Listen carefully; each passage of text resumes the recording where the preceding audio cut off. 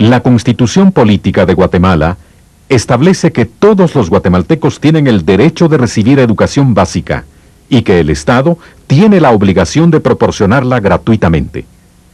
En la Cumbre Mundial en favor de la infancia, Guatemala se comprometió, entre otras metas, a resolver los problemas de educación para el año 2000.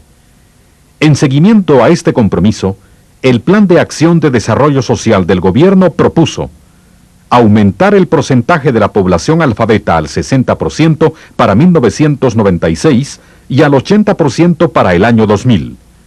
Aumentar la cobertura de la educación primaria al 80% para 1996 y al 95% para el año 2000 aumentar el porcentaje de niños que completan la educación primaria al 58% para 1996 y al 80% para el año 2000.